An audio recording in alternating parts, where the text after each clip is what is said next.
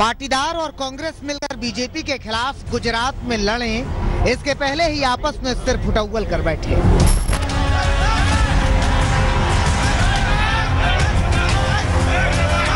एक दूसरे पर धुआंधार तमाचे और मुक्कों की बरसात कर रहे ये पाटीदार और कांग्रेस के मिले जुले कार्यकर्ता। वैसी ही मिली जुली तस्वीरें अहमदाबाद में भरत सिंह सोलंकी के दफ्तर के बाहर से भी आई। यहाँ भी पाटीदार कार्यकर्ता और कांग्रेस कार्यकर्ताओं ने एक दूसरे के बदन पर जमकर शक्ति प्रदर्शन किया।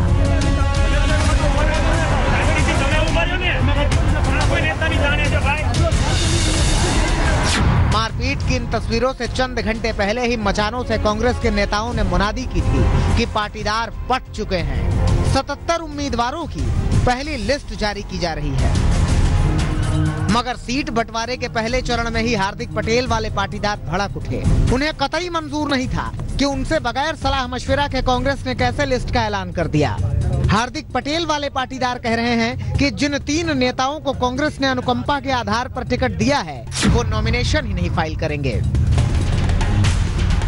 अब पेच ज़बरदस्त तरीके से फंस गया है, क्योंकि एक तरफ़ वो पाटीदार हैं जिन्हें कांग्रेस ने साधने के लिए 20 टिकट बांटे।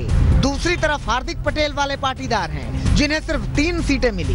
अब स्थिति कांग्रेस के लिए विकराल है, क्योंकि जिन पाटीदारों के भरोसे वो जीत का स्वाद चखना चाहती है, उनमें खुद में दो फाड़ हो गया है। गुजरात चुनाव में सस्पेंस के साथ जंग ज़बरदस्त है।